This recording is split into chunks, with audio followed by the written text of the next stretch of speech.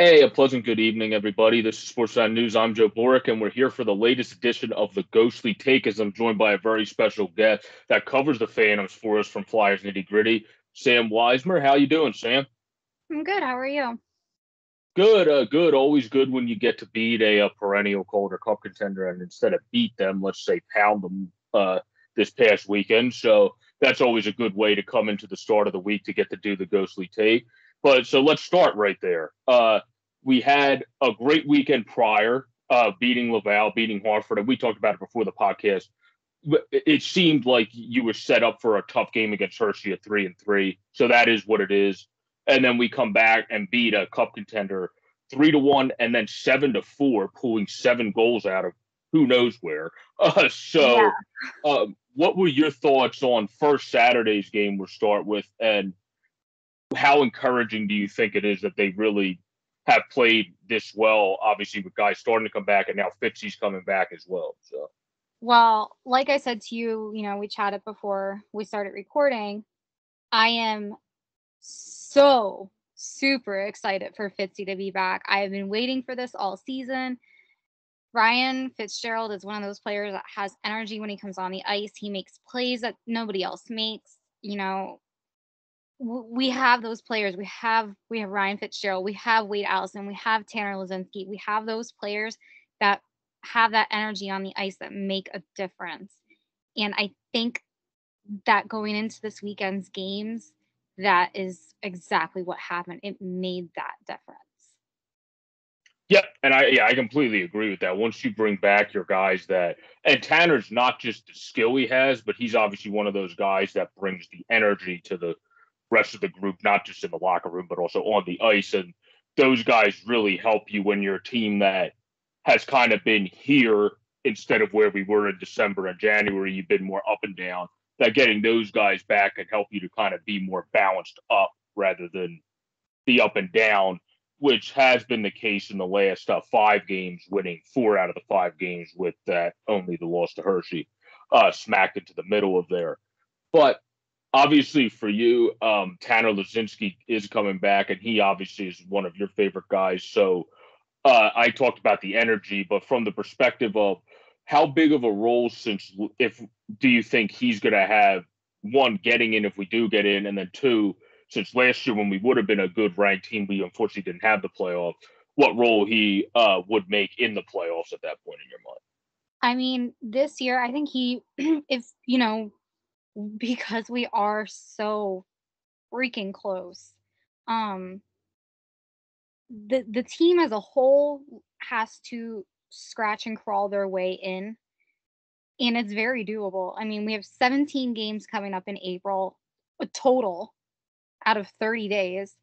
Um and then we have what three games this weekend and how many ever other games. Um, so it's very doable because every game is worth two points right now um, Tanner alone, along with Wade, along with Ryan Fitzgerald, along with, you know, Clendening, Garrett, Cal, all, all these guys that have, you, you know, t- taking Clendening and Garrett and, and Cal out of the mix b- because they are leadership. When you mix in Wade and Ryan Fitzgerald and, and guys like Tanner, because they have the energy on the ice, I think that that kind of brings the the younger kids into the mix.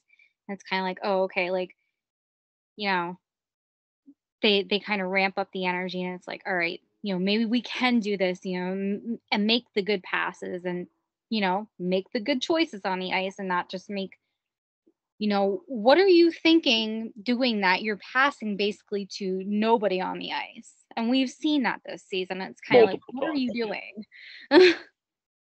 yeah. And I think uh, because, I mean, this is really the thing with Tanner. I think both of us think this in the end. He'll be one of the at least bottom six guys eventually in the Flyers playing in the NHL, where when you have a guy that's really an NHL level forward that's working his way back in the AHL for your playoff run obviously that's going to give you great, much higher chance of success rate when a guy like that comes back into your fold.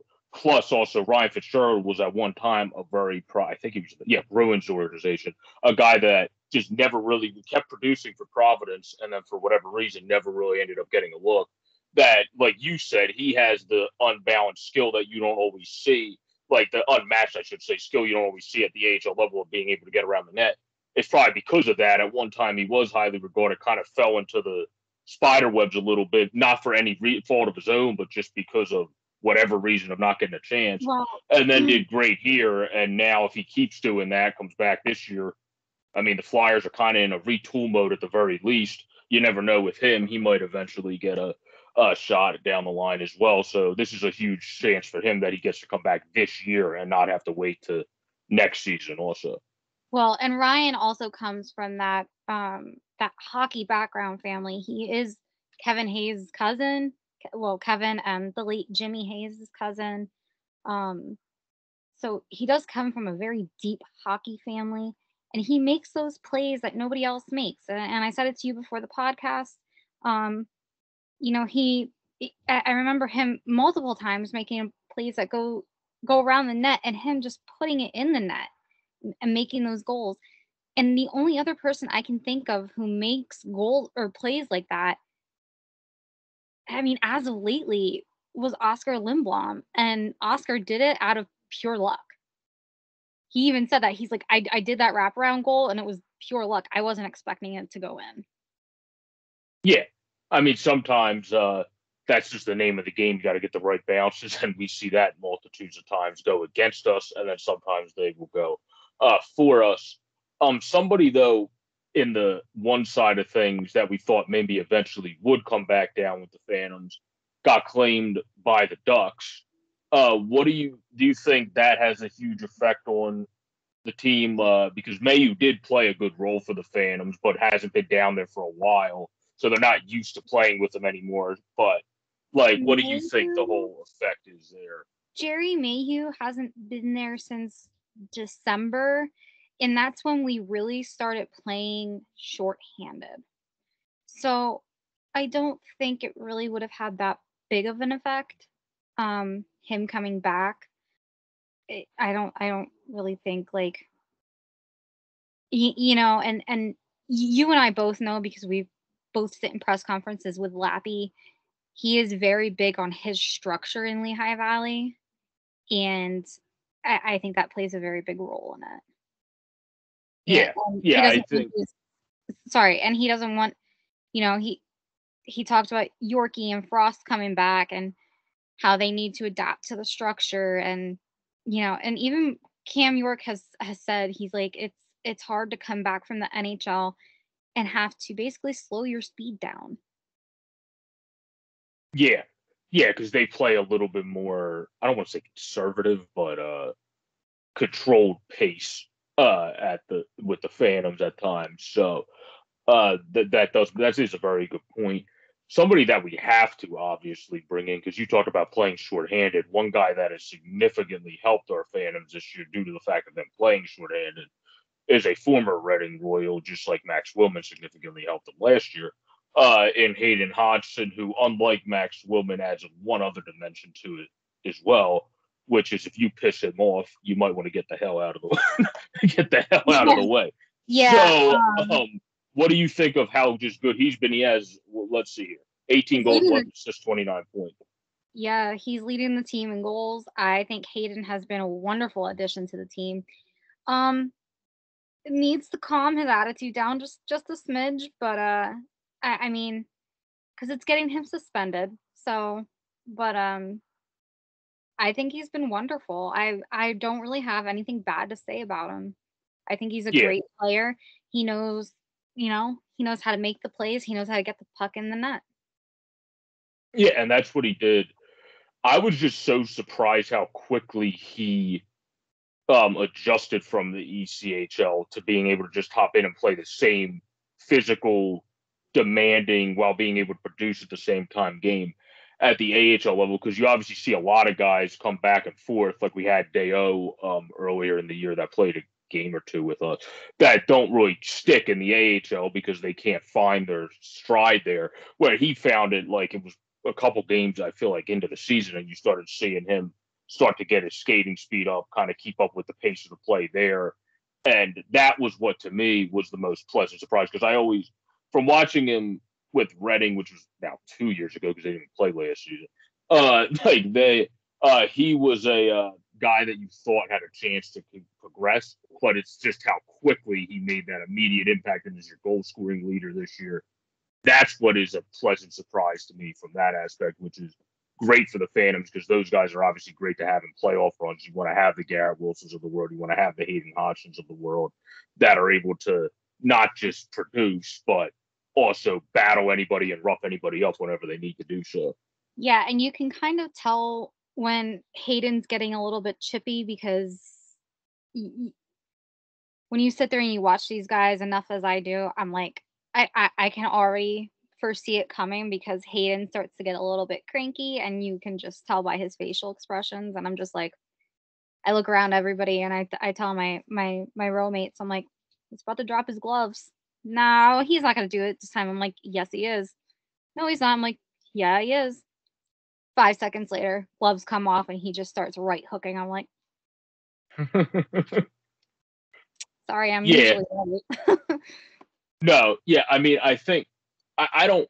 I think with Hodgson, it's about like you said, keeping it tempered, but at the same time, he's such a good thinker of the game that reminds me a bit of the bad of like the greatness minor league version of kind of how Wilson is in the NHL, where it's like you want to control him, but at the same time you can't because that's going to then take away from how great he is because that personality is a big part of why he is who he is. So it's like a balancing act as a head coach, where those guys are probably some of the hardest guys to coach because you have to try to restrain them a bit, but also let them still be them so they can be as well, successful. Mm, And even you know, Lappy has said he's like, I don't want my guys to go out there and fight all the time, but he's like, I also don't want them to, you know, lack of terms, to be pansies. Yeah, Exactly, which is which is not really to me. That's not even considered. I think in terms of the hockey community, that's one of the lighter things uh, you would probably hear people use as a word to describe uh, people. Um, but when it comes to our team, something I really wanted to ask you about is the defense because it's been inconsistent. That's uh, so. What do you think is the best one six person set? And two, uh, who do you think is really good at other than Adam Clendening, obviously, and Zamula has been pretty sharp.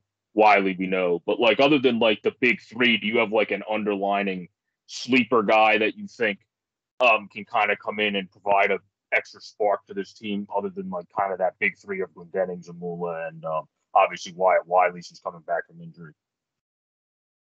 Uh,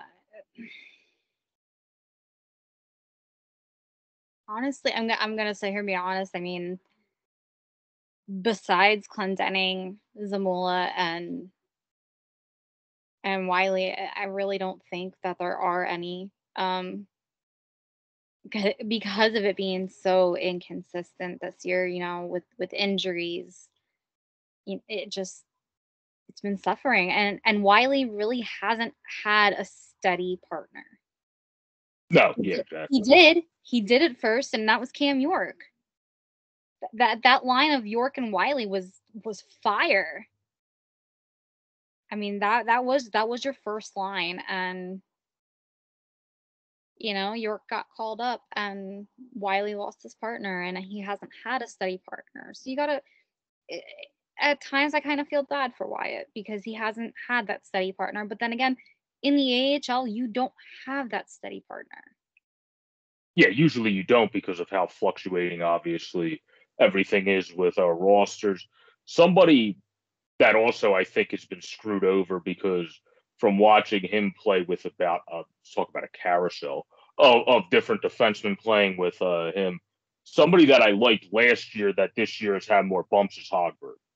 And I think part of that goes with if you can't find consistency, you you don't expect to find it always at the AHL because of like you said the fluctuating, but still it still exists in human nature. You want to kind of be able to find a tendency with somebody. And if you're just in this continuous carousel of different partners, it is going to kind of affect your overall output at the end because you never really were able to find a good tendencies with anybody and kind of know what their takes are and what their things are they're not good at, what they when they take chances, when they don't take. But that's why I think it's affected. A guy lately that I think has been better was very held back and reserved at the beginning of the year when I was Zach, who's been better and I would say the last six games, uh, or something like that. Uh, it, it, to put a label on. Better. Yeah, so if that can continue, having a guy that can skate like him, um, obviously isn't the biggest guy, so you're not going to get much physical play out of a guy that's five nine like him. But uh, if he can block some shots and use his skating speed effectively, like he has in the last six, he would be. I don't know if a, a sleeper might be generous, but he would be like a guy that's a nice extra guy that might show up more during this downstretch like he's been doing lately. Because the other thing about him is he's still only 22 years old. So uh, you got him from the Bruins organization, but you got him at still a significantly young age. So he's still obviously really we, growing. We also have to think about the guys that are going to be coming in next season. We've got, you know, I mean, I talked to Jamie today. We've got Bobby Brink that's going to be signed. We've got Noah Cates coming in. Um, Ronnie Attard. Ronnie is hard. Like we've we've got these kids that are coming in, and if not this year, the Phantoms are going.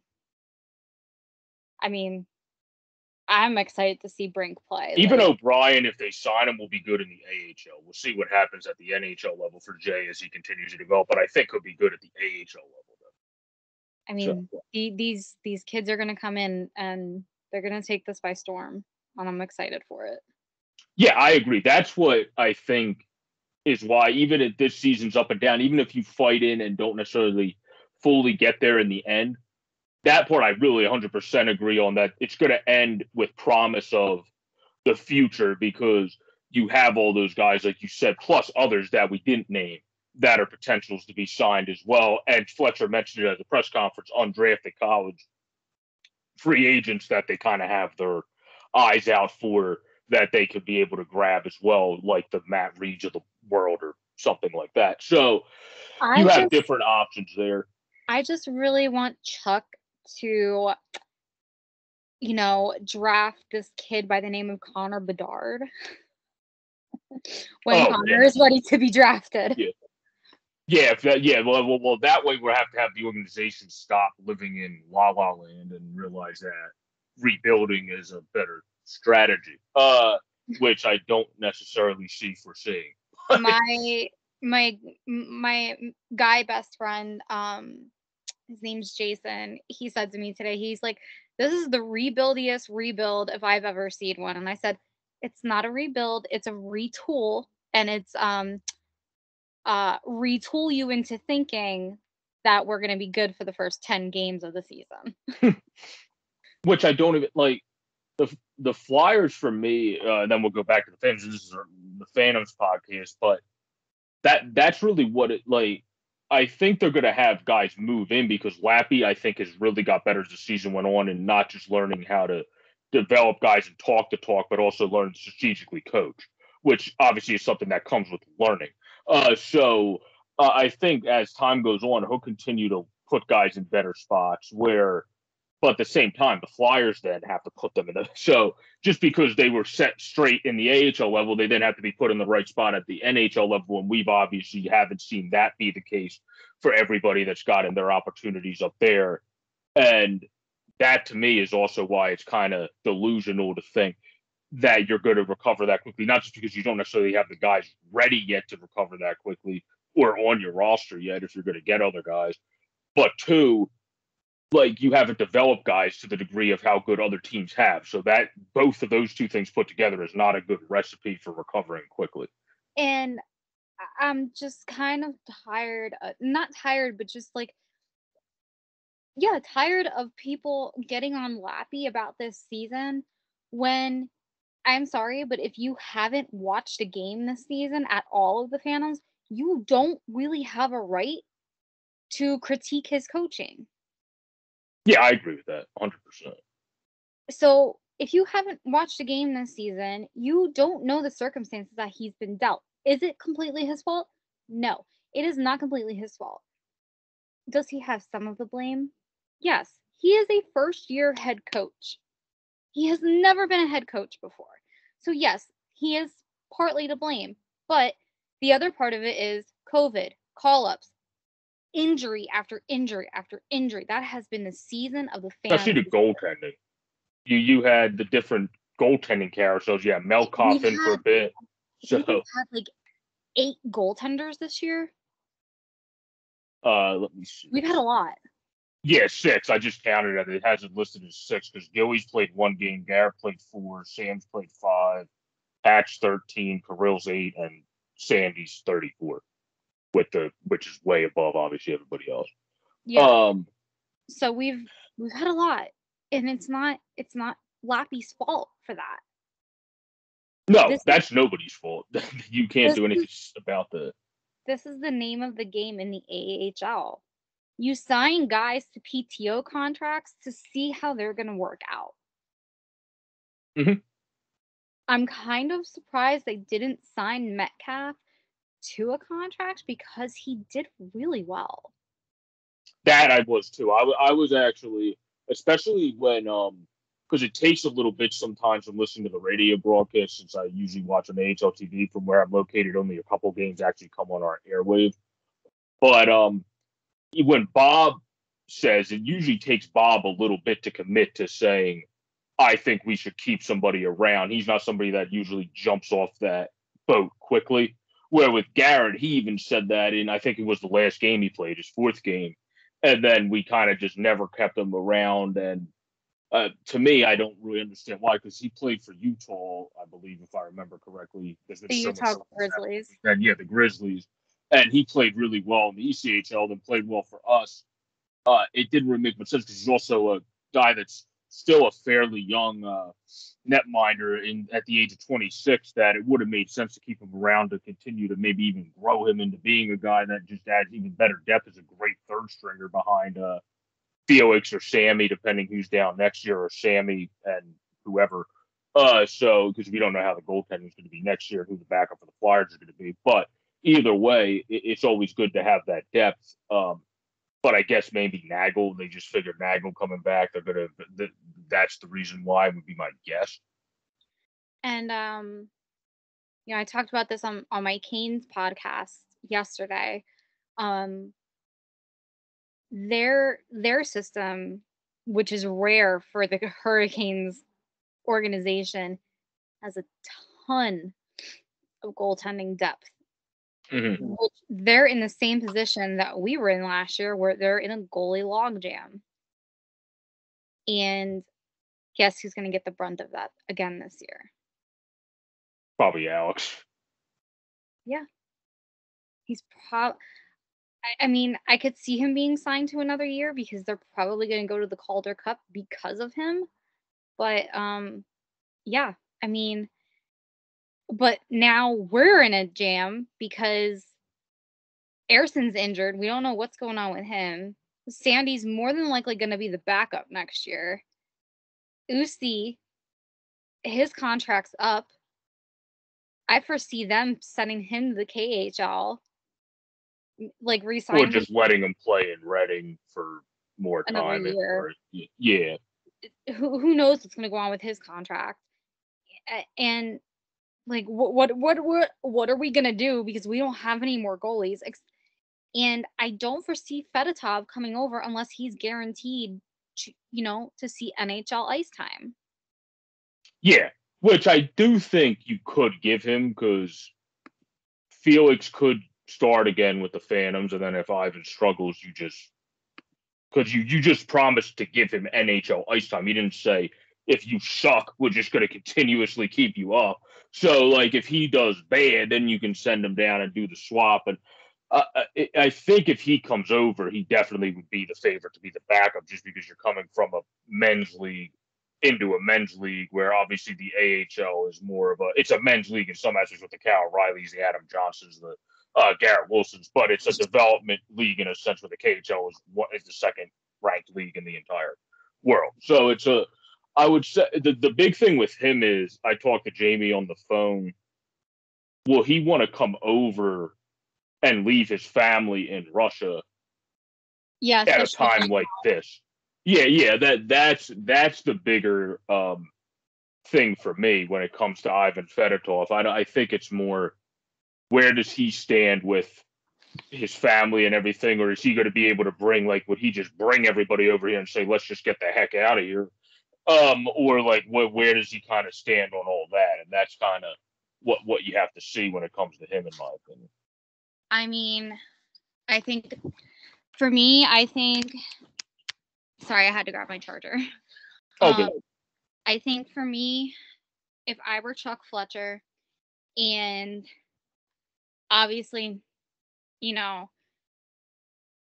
he made it very obvious today by not getting rid of Martin Jones that his eyes are very much on the AHL team. And he is keeping an eye on the Phantoms. Um, and he's at those games. He comes to Allentown quite often, actually. Um, Yeah, that I will give him credit for. I definitely do give Chuck credit for being present at AHL. you, because you, you never see a GM at their AHL team, and he's there quite often. Um, and he mentioned in a press conference, you rarely see GMs mention their AHL team in a presser about a de- especially about a trade deadline. Uh, when it comes, you're, you're talking about a lot of other stuff before that usually crosses your mind. so to me, I think it's time for everybody not to not pay attention to the Flyers because the Flyers it's more important, obviously, but switch your gears to the Phantoms for right now because we are very close. We are making a push for the playoffs. And I think Chuck made it very obvious. Um, but getting back to the draft during the offseason this year, I think Chuck needs to make a push and get a goalie.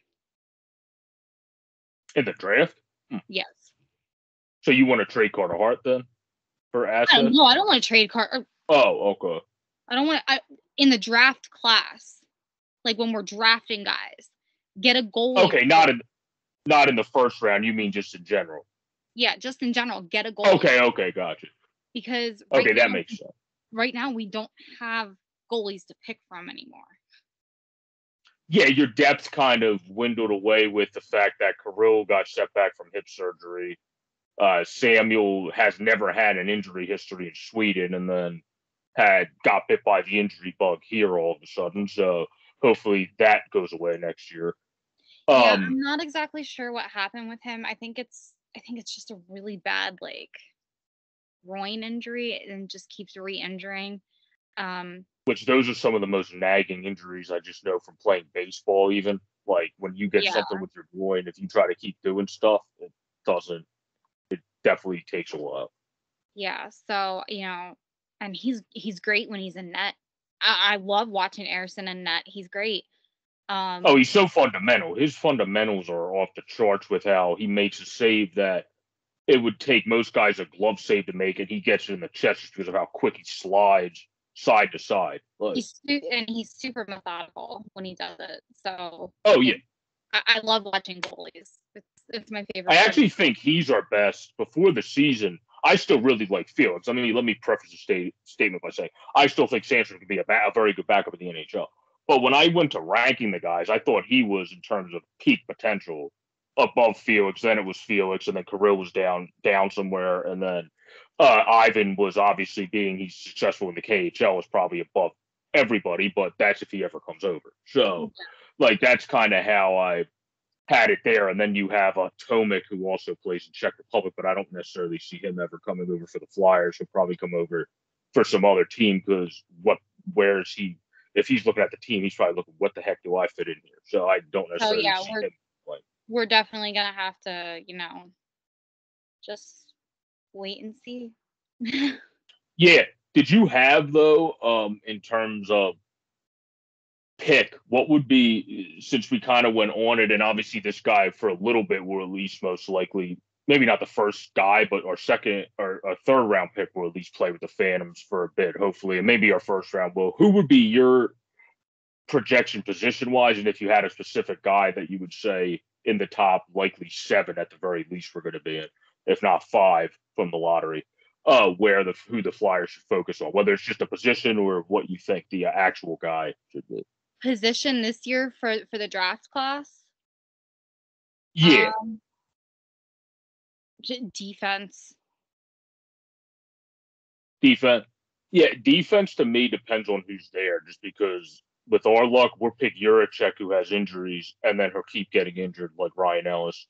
And then I'll go, okay, great. So now we have a young version of Ryan Ellis, who's probably better than Ryan Ellis if he could stay healthy.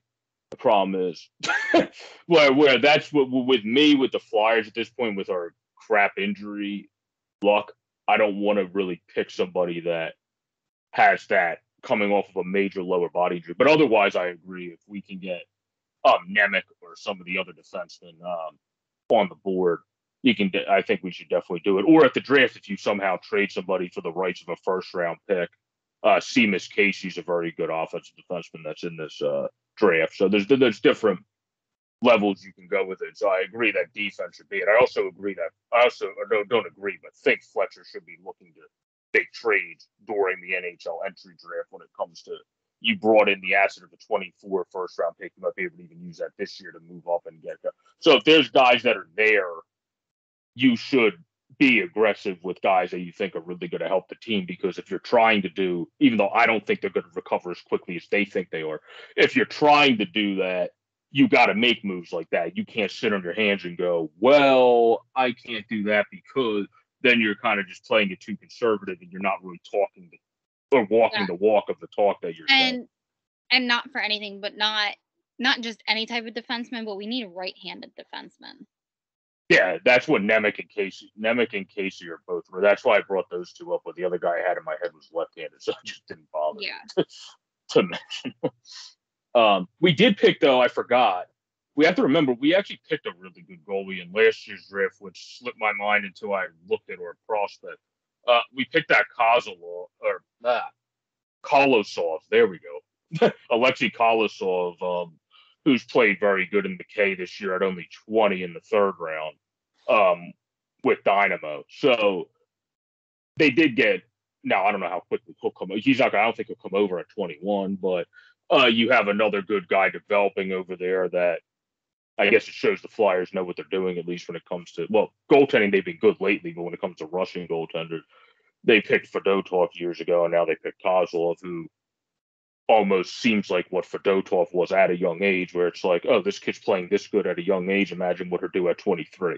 Yeah. And then you kind of keep going from there. So it'll be interesting to see how he continues to develop and how quickly the Flyers want to one make him come over, and two, uh, how quickly they think he will be ready for being this like one B, say for the Phantoms, like someone that platoons regularly and they and have something know, going.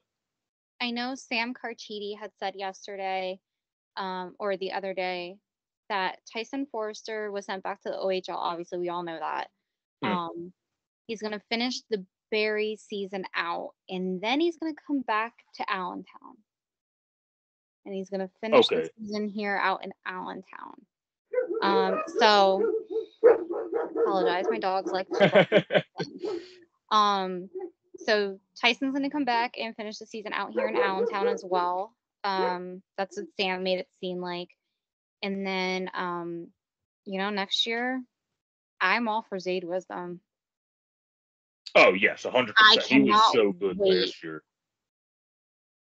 Yeah, he was so good. And then this year, um, he was he's been good in the juniors, and I think it's just he's another guy that some people I just never respond to in fan groups just because of how quick people are to go from positive last year to uh, where he's working his way back from a major injury. Yeah. It's obviously you're not going to hop back. It doesn't matter if you're in the juniors. You're still not going to hop right back on the ice and be the same dude you were before that immediately. Like we saw Crosby even this year. He got going again quickly, but it was like a three game stretch before he went, okay, I'm Sid again, and he's one of the best players, as much as I hate to say it, of our entire life. So when it takes those guys a few games to get going, obviously it takes the normal uh, run of the mill good NHL or AHL level players or um, OHL level players to get going as well. So that that's always just the way I look at um, that aspect. Somebody that's always interesting to me for the Phantoms, though,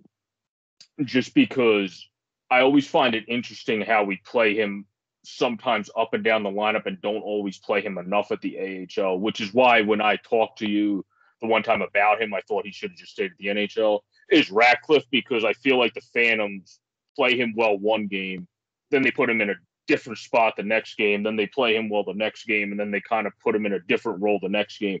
Where with the NHL, they just it seemed like Yeo, even though I don't think Yeo should be the coach next year, but it seems like Yeo just said, "Do you be the physical drive to the net guy that can?" Where with the Phantoms, it seems like like we kind of play like we said earlier that not conservative, but like a little bit slower turn down pace. That doesn't really fit with Isaac Ratcliffe. No, and I think Isaac should play more minutes on like you know, the first or second line because he has proven himself and you know, some of these kids they don't really play well on an AHL team. They don't really develop well at the AHL. But then you throw them into the mix in the NHL and it's like where did it come from? And Isaac Ratcliffe was one of those guys. Nobody expected him to do what he did at the NHL level. And I'm just, I, I was one of them. I, I sat there and I was like, Isaac, why can't you do this with the Phantoms? Like, yeah, and I think it's just exactly what you said. And Lappy might adjust his more, like John Hynes was not as aggressive as he is in um, Nashville in terms of offense when he's with the Devils. So like like different coaches adjust over time and change their system. I'm sure Lappy won't be as slow down the pace. That's just while he's learning how to become a coach because he'll realize with guys like Ratcliffe, even with guys like um, obviously Hodgson, who plays with that big physical demeanor, Tanner Laczynski's a great skater. You don't always want to slow down the pace because that'll bite you in the butt sometimes. We're keeping it going at the max level sometimes is what gives those guys the ultimate edge. So I think over time we're yeah. adjust there. But I do think Ratcliffe, I would be shocked if he's not on the Flyers roster to start next year, unless if we make stupid moves that are a la Vinny Lecavalier. Like, like unless if we make those moves where it makes no sense, we just sign somebody to a five year deal for like seven mil a year, and you're sitting there going, "Yeah, this is a move that like I don't know the uh, Kings that are in the playoffs this year that are going to keep building. Like this is a move that a team that is not us that is trying to recover should be making, and that's really um, what worries me about hurting our Phantoms guys is us being stupid in the offseason with thinking we're ahead of the tide, which then in contrast hurts our guys' development because they don't get the minutes they should get at the NHL level that they prove themselves they should get because you add somebody you don't even need because you're not at that point of where you're at as a team yet. So yeah, no, I agree. But I think we uh, pretty much uh, have uh, made a pretty good wrap up here. Uh, in terms of closing thoughts, I think uh, a perfect ones are to talk about who we think our stars of the team have been this season, who we think the team MVP has been on offense, defense, goaltending is obvious. Uh, but um, we can go through those. So I'll, I'll turn it over to you for the forward core. Who do you think in the forward core we'll start with have been the MVPs of the team this season? Forwards, um, well, I gotta go with Garrett Wilson. I figured, yeah. I'm always I'm always gonna go with Garrett Wilson. No, um, forwards. Hmm. You know, I mean, we've got so many uh, these guys. Um, one. Mm, I like them all. there, I would say just there's not one um, that really's had a bad performance. I mean, here and there, I you don't have a lot that are Hayden Hodgson. I mean, he's put on yeah, a performance. Yeah. Mine, I think, would just be he's never like he's still been at a ridiculous level as the captain of the team. I would just say for me, just because he continues to perform, even when we had all the injuries, like you were saying, and he wasn't surrounded by the best lineup. Cal continued to show up and perform every night. So I would say uh, he would be my guy that I would give the nod to there. But I mean, Hodgson, Wilson, like all those guys have been playing very good. And then even guys we talked about, Strome, even this year in a bottom line role, has developed into filling out that role that Connor Bunnaman used to play that is now with the Florida Panthers. So. And I've got to say, I got to give props to um Cal O'Reilly has just been on a tear lately.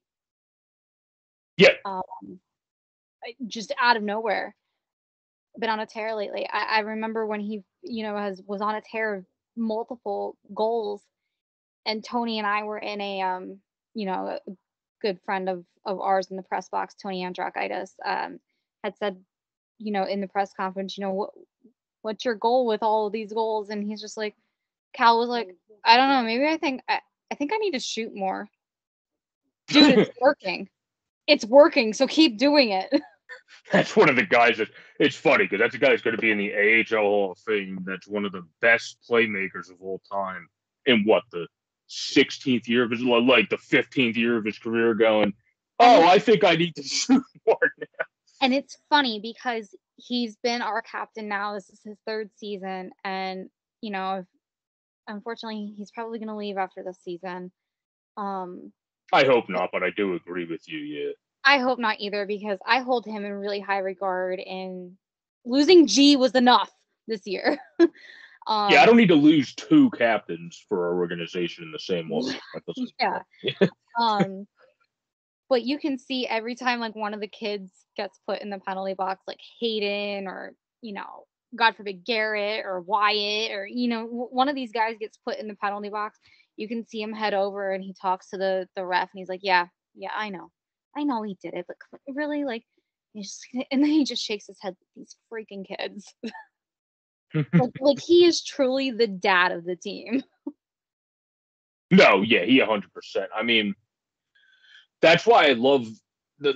That's what I think the Phantoms sometimes like those veterans that you brought in. Obviously, the Clendenings. Those are the money veterans. What I think we clog ourselves sometimes with too much is the Adam Johnsons of the world, which then hurts putting guys that are young that deserve more playing time. I said this before we started the podcast. Uh, in the right spots because you have a guy that again isn't a bad AHL player, but he is what he is. He's just a fast skater that gets to the battles. He doesn't always win them, but that'll get to the boards quicker than others. Uh, and like those guys are what they are. So like to me, you shouldn't be playing those guys over Linus Sandin, for example, who's very good on both ends when extremely healthy. Obviously, he's been banged up this year, but when he's actually able to get into a routine, he's a very solid uh, two-way guy. Adam Johnson is more just a speed guy that because of his speed plays okay defensively, but I wouldn't say he's like a shutdown uh, forward by any stretch on defense.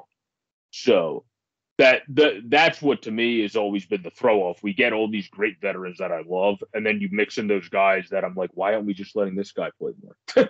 like yeah. like that. That's kind of what what it is that that always has uh, confused me a little bit with um the way we do things, but.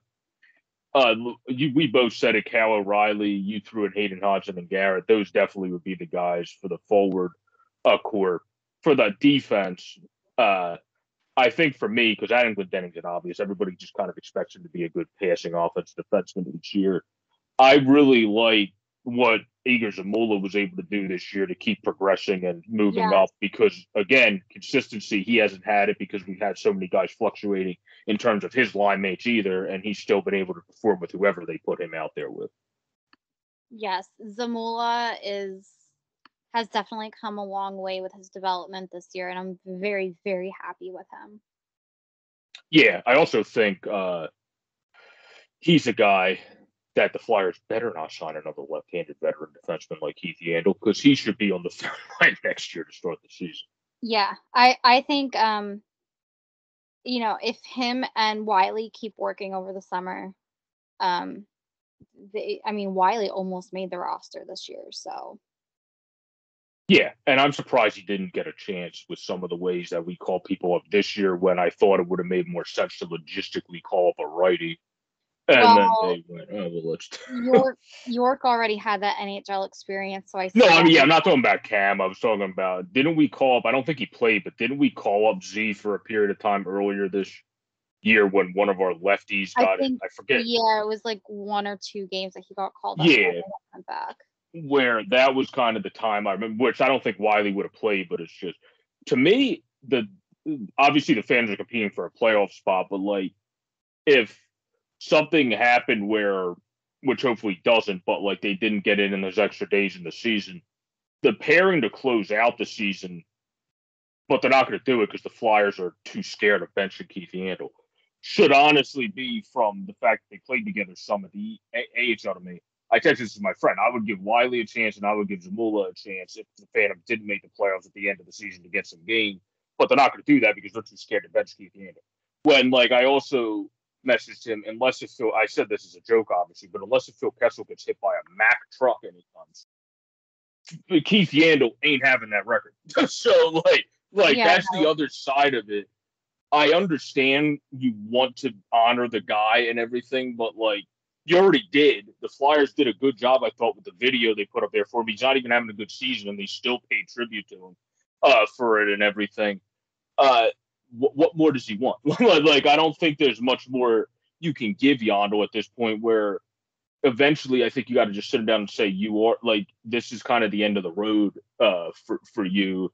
And this guy is going to, unless if again he gets injured out of nowhere, this guy is going to break your record anyway. We need to do what's best for our team. And I think, unfortunately, Fletcher it seems promised Yandle something that he's now that now kind of screwed him over. Otherwise, I don't think he would still be in the lineup. So Yeah, no, I agree. There, Well- there is there is no more for for Yandle. yeah, there's not, and that's why I'm not surprised we didn't get anything for him because I mean, who would have? The only way you would trade him for Keith Yandle is if you wanted a basically player coach. If you wanted a guy in your locker room that has the right mindset and the right qualities, but isn't really going to give you much on the ice anymore. So. exactly. But last we'll wrap up with I think the most obvious. I would say when it comes to goaltending, both of our keys to the goaltending success this year is probably Felix Sandstrom. Yeah, yeah, they're really and then uh, Pat played great in 13 games, so let's shout out Pat too. But yeah. Patty Nags. Felix just played 30. Felix just played 34 games, and I highly doubt they wanted that to happen, being he came off an injury late last year, worked his way back the end of last season. They're probably going, let's ease him this season into being into a starting role, and then everything happens. I mean, his have to play. his confidence, his confidence has just boomed out of nowhere, and Yeah. I'm all for it. Like, I have thoroughly, thoroughly enjoyed watching Felix Sandstrom this year. He has been an absolute pleasure to watch grow. Yeah. And then he's also been he's been better than his stats too, because he's one of the guys that fits perfectly into the article like Chris Bundy had a couple weeks ago when he interviewed coaches that said the, we still use the eye test as the utmost, and then we use the analytics and the um the uh, lot- regular stats as supplementary. He's a lot like Carter Hart, where Carter Hart's stats don't really fit into how Carter Hart plays. Exactly. Yeah. Like, yeah, yeah, because okay, like the team, the team's gonna your save percentage is not going to be fantastic when your team leaves seven people wide open in the slot. Well, like, yeah. like you can't really do anything about. and I I've said this on my own podcast and I've said it on numerous podcasts that I've been on. You are only as you are only a good goaltender as you are as the guys in front of you. Yeah, it's similar to a quarterback in football. You can't do it all yourself if you have a crap team in front of you, unless Eh. it's the second coming. Unless if you're Tom Brady who likes to Unless retire every season.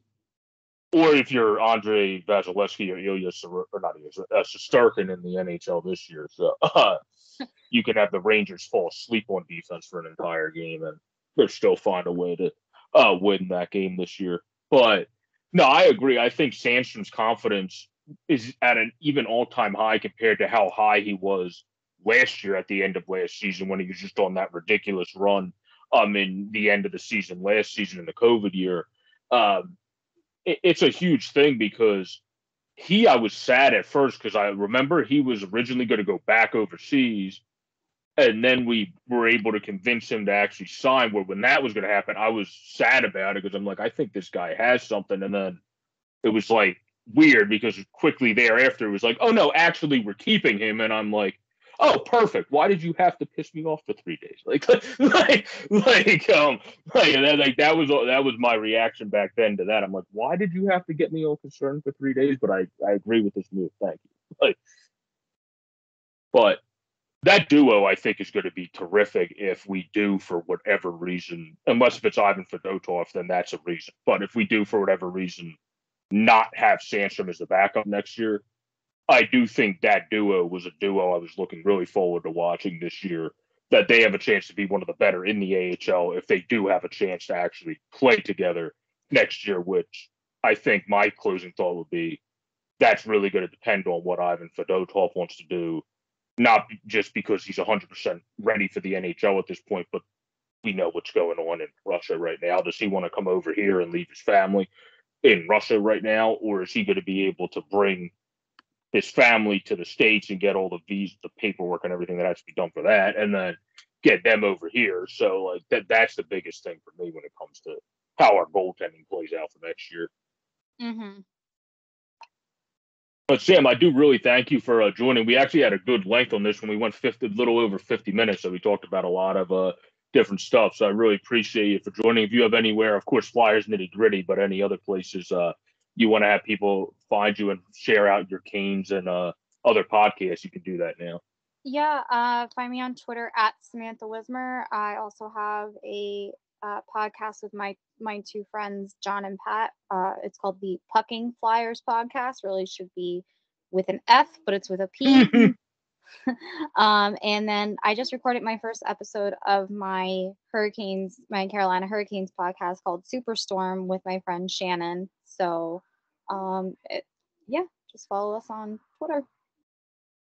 Now, is your friend Shannon from that? Like, obviously, you Lion She's went there. We love Rob Brind'Amour. Is she a, like a diehard Hurricanes fan? Or? She's a diehard Hurricanes fan, and she lives in the heart of Raleigh. Okay, so yeah, that's a that's a perfect combination because you're somebody that loved every team and then really attached like Brenda Brind'Amour, Alex Lyon, uh, and then she's the diehard Hurricanes fan. Yeah, that seems like a perfect dynamic for sure. Yeah. Also storm surge is definitely a cool name for the hurricane so. Uh, superstorm but yeah. Oh superstorm. Okay yeah. Because um, we we focus on the hurricanes and then we um we do a segment on the wolves as well the, their ahl team. Oh that makes sense. Yeah that makes sense. But um yeah definitely uh check out all those everybody for me you can find me at jjborak26 on twitter is the thing i'll check the most um, and then you can also find me on Flyers Nitty Gritty, Steel Flyers, and uh, the Sports Phanatic News YouTube page.